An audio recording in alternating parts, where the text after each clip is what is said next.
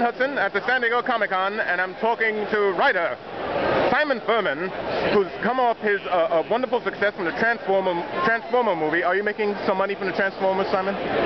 Well, wait, take two. I'm talking to Simon Furman, successful writer, uh, uh, straight in from England, special trip to San Diego. How do you think? How do you think the uh, um, con so far? Is it is it good or? Oh, fantastic! The, the outside foyer has been a wow. You know, Simon Furman is obviously putting a happy face on a bad situation. the Comic Con is going straight downhill, but Simon is afraid to say because he may be in trouble and they may deport him. Is that true? Absolutely. That is absolutely true. This is Don Hudson from San Diego.